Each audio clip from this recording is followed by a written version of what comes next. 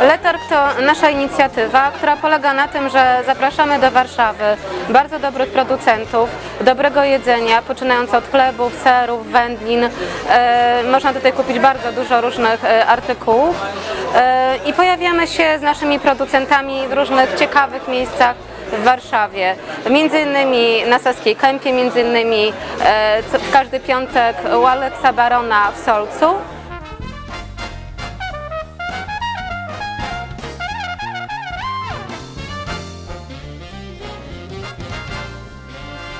I tutaj w Solcu możemy połączyć robienie zakupów bezpośrednio u producentów e, z próbowaniem e, tych artykułów zaraz w sąsiednich salach, bo w menu Aleksa Barona one się pojawiają e, w bardzo ciekawych zestawieniach.